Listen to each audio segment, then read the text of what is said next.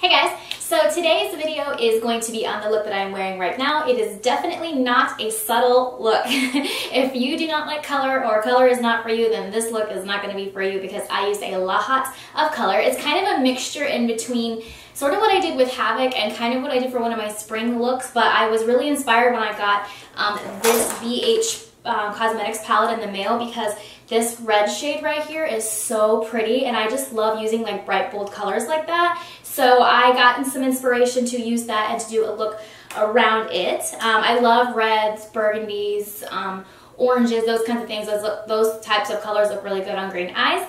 Um, so yeah, with no further ado, I'm going to get into the video. So if you'd like to see how I got this look, then just keep watching.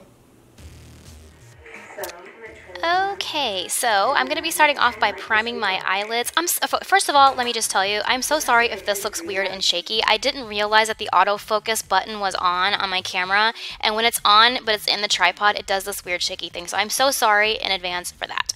Uh, but yes, so I'm priming my lids with the Urban Decay Primer Potion, and I'm going to go in and set that primer down with my Real Techniques setting brush, as well as a Maybelline Fit Me powder, just so we have a nice smooth base to work with when we put these colorful shadows on top.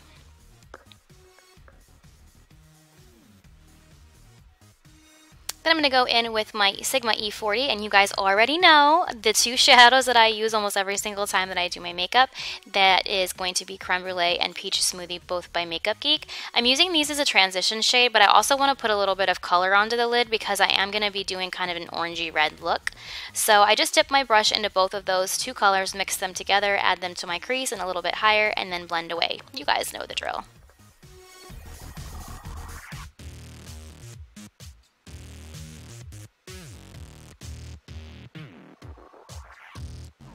And now I'm going to go in with this Morphe brush and I'm going to use the BH Cosmetics Modern Mattes palette. This palette is so pretty. It's all color, but they're all mattes. And I'm going to use this really pretty red shade. This is actually what inspired this, this entire look because this shade is so pretty.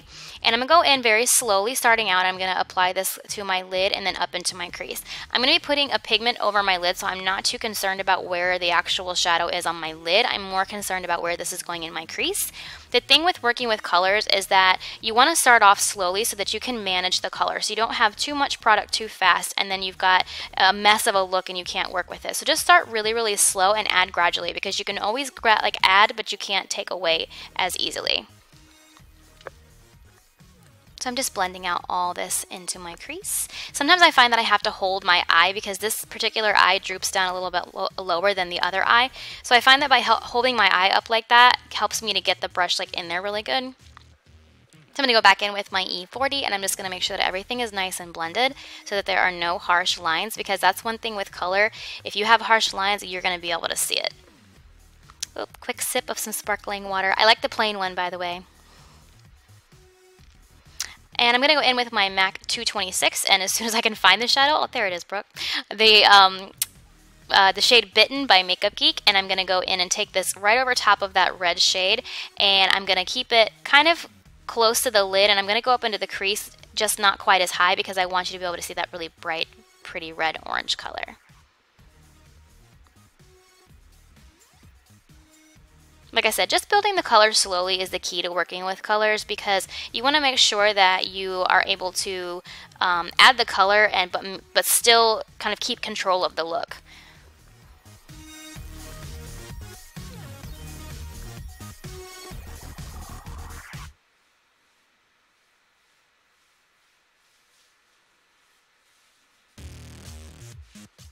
So I'm going to go in with this, um, I'm so sorry, I didn't realize my camera wasn't recording, I had already put down a layer of it, but I'm going to go in with this Luxie brush, some MAC Fix Plus to wet the brush, and then this MAC pigment called Blue Brown. If you're interested in trying MAC pigments, a lot of them have these trial sizes, which is awesome because you don't have to buy the entire thing. So once that dries, I'm going to go right over top of that with another pigment. This pigment is a, little bit of an older pigment by MAC but basically it's just blue and green glitter and I was so upset when I was doing this look I dropped it on my beauty room floor and like glitter went everywhere so I hardly have any left because that thing was full. But with that same wet brush I'm just going to go right over top of that just to kind of emphasize the blue.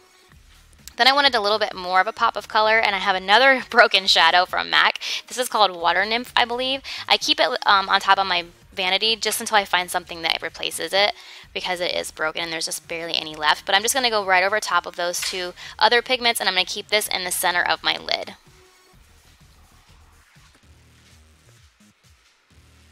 And now I'm going to go back in with Bitten, and I'm just going to make sure that there are no super harsh edges.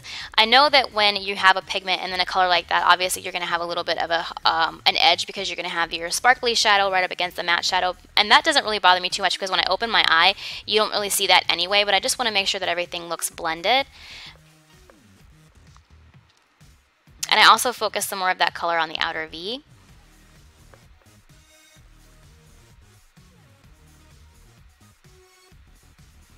Now I'm going to go in and start my face. This is going to be the High Spreadability Fluid Primer by the brand The Ordinary. I'm going to take this in and work it into the areas where my foundation tends to crease, like my forehead and sometimes the sides of my nose. And next up, I'm going to go in with my favorite foundation of life. This is the Kat Von D Lock-It Tattoo Foundation. I am in the shade 48 Light. I'm going to take that with my damp beauty blender and just start working that into my skin. I find that if I have a really bold eye look, I like to use a very full coverage foundation because I feel like it makes the eyes stand out since I do have freckles. Um, I don't really want to be able to see those freckles when I have a nice bold eye because that's the whole focus of the look. So I'm just blending this all in. I'm going to go in with my primer. I totally forgot to show you guys the primer, I guess. Um, but this is the Smashbox 24 Hour Primer. I'm using this to conceal underneath my eyes as well as to highlight my face. I have a whole video on highlighting and contouring. If you are interested, check it out. It is on my channel. It's kind of light. The video came out really light and I don't know why. Um, I think because I had my window open. Usually when I film, I have my windows, a window in my beauty room. I keep it um, the blinds closed, but I had it open that day because it was a really pretty day and I think it just added too much light.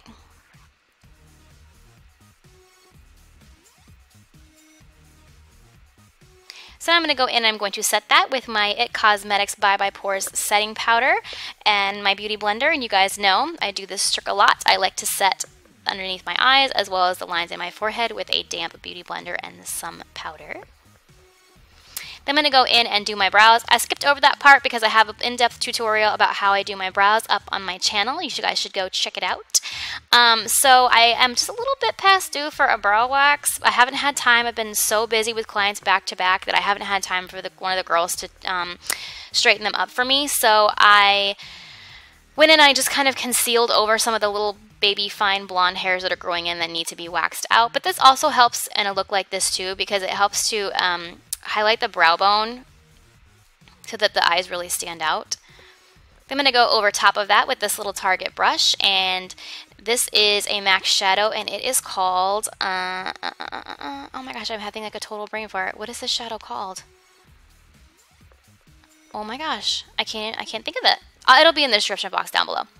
So I'm going to go in with this short smudger brush and that same blue-brown pigment and I'm going to put this in my waterline kind of if you have sensitive eyes don't put shadows on your waterline because it does like it does irritate the eyes just a little bit like I do find myself having to like kind of blink some of it out but I wanted there to be a little pop of blue so then I went back in with the um, color Bitten by Makeup Geek and I smudged this along my lower lash line because what I was trying to create with this look was I wanted it to be like a circular look all the way around my eye with that red orange and then I wanted the blue to be staying right, right in the center.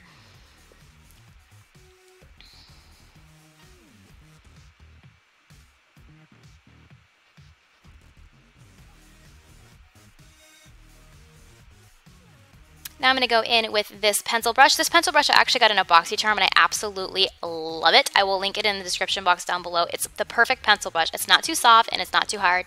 And I'm going to take this same red shade that I used up top and I'm going to smudge this in with Bitten. Kind of just replicating what I did on the top on the bottom too.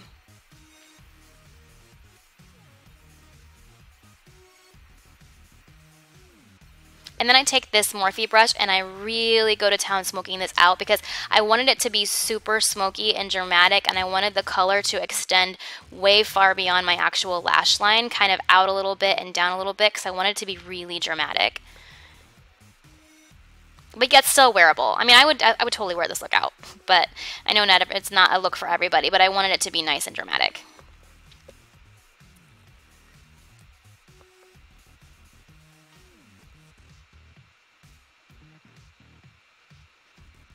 And I'm going to go in and put a little bit of black eyeliner in my waterline just because I felt like it didn't pop enough.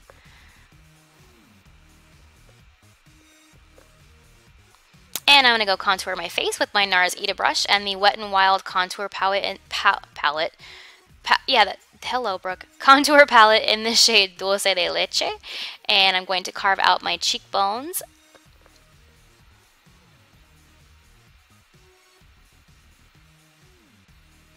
Then I also contour my forehead as well as my jawline. When you're contouring your jawline, it's really important to make sure that you um, make sure to blend the shadows down your neck just so that it doesn't look um, crazy like you've got this dark like color right underneath your chin. And I'm going to be using my Sonia Kashuk blush brush along with the Too Faced Love Flush blush in the shade Baby Love. I wanted a kind of neutral color blush. And then I'm going to go in, and I wanted a neutral color highlight too. So I'm using the Becca highlight in the shade Opal. I like this highlight because I feel like it's not too peach, it's not too pink, it's not too like colored. It's more of a neutral highlight. So I'm going to be highlighting my um, cheekbones, my the bridge of my nose, in between my brows, my cupid's bow, and my chin. And I'm going to go and pop on these lashes. These are Ardell lashes. And I don't wear lashes every day, you guys know, but with looks like this, I like to wear lashes because I feel like it just steps up the look like an extra notch. Then I just set my face with the Wet n Wild setting spray. And after that's dried, I go in and I do my lips. This is the Milani um, lip pencil. I think it's like in the shade neutral or natural, something like that. I wanted a really neutral lip because the eyes were so much. So I just go in and I'm slightly overdrawing, slightly overdrawing. Then I go in and I just fill it in because I'm going to go over top of this with a gloss.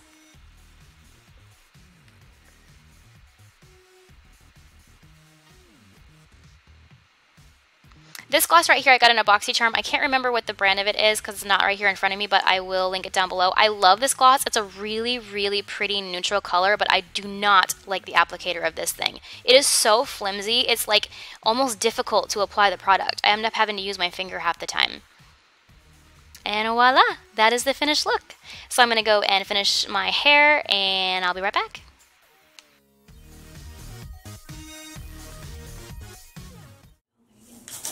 Alright, so that's going to complete this video. Thank you so much for watching. Hopefully this video inspired you to use some color in your looks if it's something that you've always wanted to do, um, or you're just maybe not sure quite where to start or how to use it. Hopefully this look gave you some inspiration to start adding some color into your looks. I'm going to be using this palette a lot coming up on my channel because I am totally inspired by these um, blue and teal shades down here too, so stay tuned for that video. Um, thank you guys so, so much for... Hello, stop falling. Thank you guys so, so much for watching. Um, please give this video a thumbs up if you'd like to see um, more videos like this with a little bit more of a colorful look. Click the subscribe button to see more videos from me. Don't forget that SPF is your best friend, and I will see you guys next time. Bye!